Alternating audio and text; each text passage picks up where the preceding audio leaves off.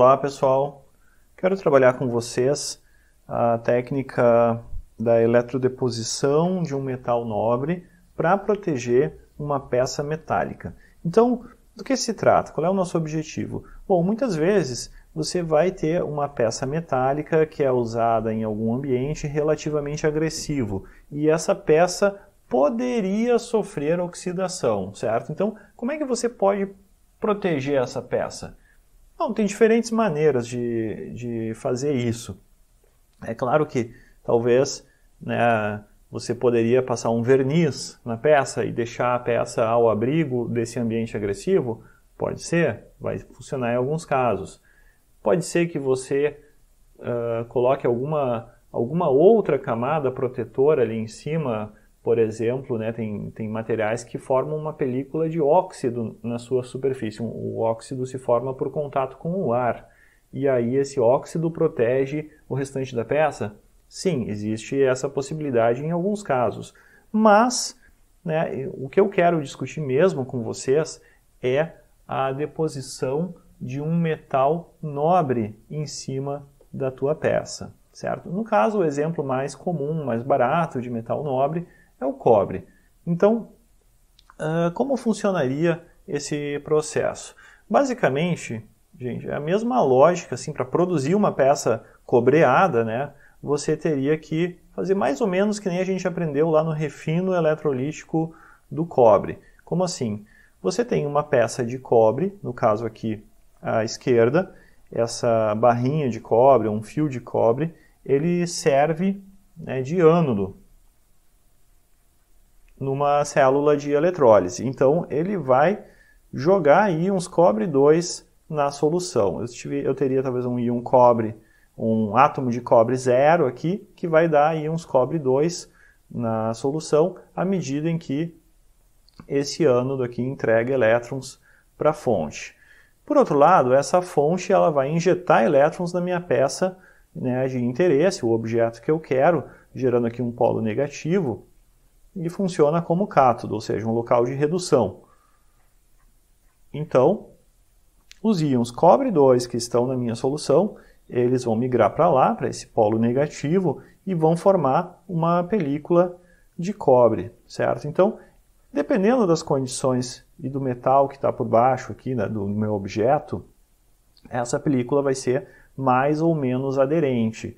Se eu conseguir formar uma película que após eu dar um polimento ela permanece aderida, então eu tenho uma camada de um metal nobre por cima de um outro metal que não é tão nobre, um metal que poderia ser oxidado, certo? Então, esse metal nobre que está sendo colocado por cima, no momento que recobre tudo, eu posso dizer que eu tenho uma camada protetora que é mais difícil de oxidar.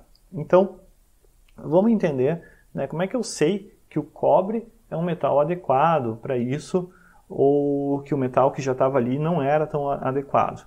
Eu tenho que pegar o conceito da minha série de reatividade, ou seja, uh, eu posso olhar, por exemplo, né, o metal zinco, o metal ferro, o metal uh, níquel, o chumbo, vou pular o hidrogênio que não é um metal, o cobre, a prata, o ouro. Então, quem é, quem é mais fácil, quem é mais difícil de oxidar? Nessa série aqui, eu não, não coloquei todos os metais, mas coloquei alguns. O mais fácil de oxidar é o zinco, certo? Então, nós dizemos que ele é o mais reativo. Não é mais reativos em cima e os mais difíceis de oxidar, ou seja, mais nobre, aqui embaixo, certo?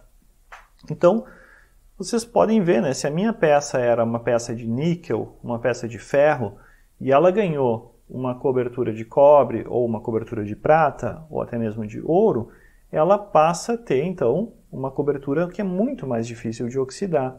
Então, ele vai, ser, uh, vai se tornar uma peça que resiste melhor a um meio oxidante, um meio agressivo. Tá, mas como é que eu sei essa ordem aí? Bom, eu posso consultar, né, numa, numa tabela, e principalmente existem essas tabelas de potenciais de redução. Como aqui eu estou cogitando o processo, né, a hipótese do meu metal vir a sofrer oxidação, eu transformei os potenciais de redução certo, em potenciais de oxidação, ou seja, eu busquei na literatura uma tabela, né, como, como essa tabela aqui, e escrevi as equações invertidas para deixar em forma de oxidação, ou seja, começo com o, o metal e gero os cátions metálicos, e também os valores de potencial padrão, que antes nas tabelas dos livros de redução, aqui são potenciais de oxidação. Certo? Eles estão em volts. Então, o mais positivo representa energeticamente o processo mais favorável. O mais negativo representa o processo energeticamente mais difícil, mais desfavorável. Então, então essa escala aí é que eu uso para me basear se um metal está dando uma cobertura né, que, que, que ajuda a proteger ou não ajuda. Esses números, pessoal, eles tão, têm valores positivos, valores negativos, você está comparando quem tem um valor mais alto, um valor mais embaixo, e quem é o zero. Existe uma convenção que o valor zero ele é dado em relação ao hidrogênio. Vocês sabem que uma solução que contém ácido, ela contém íons H+, o íon hidrogênio. Então esse íon hidrogênio, em relação ao gás hidrogênio, ele forma né, o, o, uma, um padrão, assim, um ponto de referência que é definido como exatamente zero o potencial de oxidação, ou também o potencial de redução é zero, certo? Então, é isso. Espero que tenha uh, sido esclarecedor né, para vocês terem uma das técnicas de proteção de uma peça metálica. Tem outras? Tem outras, a gente vai ver oportunamente. Então tá, um abraço. Tchau, tchau.